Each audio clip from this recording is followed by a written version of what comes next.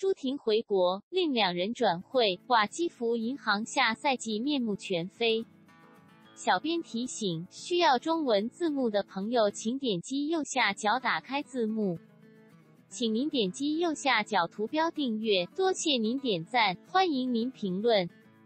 朱婷所在的瓦基弗银行将要同伊萨奇巴西争夺本赛季的联赛冠军，双方首场交锋将在北京时间四月二十四日晚上二十三点进行。决赛将采用五场三胜制度。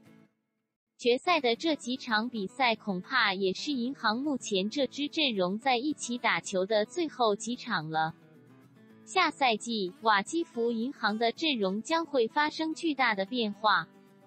首先，朱婷将回到国内联赛，接着在队里待了长达四年的斯洛特耶斯，下赛季将转会意大利斯坎迪奇俱乐部；而待了两年的主攻罗宾逊也要改换门庭，加盟费内巴切。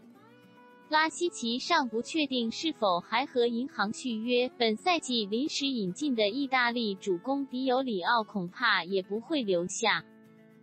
朱婷、斯洛特耶斯、拉希奇铁三角一起合作了三年，帮助银行获得了两个欧冠冠军、两个世俱杯冠军、联赛冠军、土耳其杯冠军、超级杯冠军各一个。能在短短三年内获得这些荣誉，可谓功勋卓著。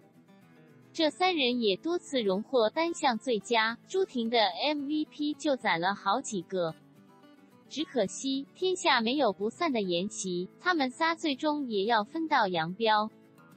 据悉，银行在运作引进巴西主攻加比来代替朱婷，比如瑞典接应哈克来替代斯洛特耶斯。另外一名主攻不排除由卡拉库尔特担纲，毕竟哈克引入后他又没有位置了，而且这个赛季他一直在练习一传。那么下赛季的瓦基弗银行将会是什么阵容呢？我们来脑补一下：主攻加比、卡拉库尔特、二传奥兹巴伊、副攻居内什和拉希奇、接应哈克、自由人奥格、埃米姆，这个阵容能会取得什么成绩？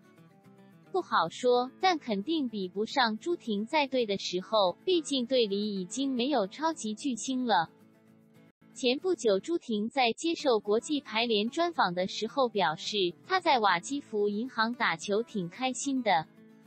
作为球迷，我们也看得出来，朱婷在银行跟队友相处融洽，精神面貌不错。教练古德蒂也挺关照她的。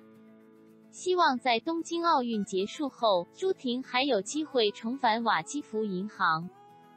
本赛季的决赛，衷心希望目前这个阵容能够拼下联赛冠军，来一个圆满的收官。朱婷加油！附详细比赛日程，小编多谢各位看官。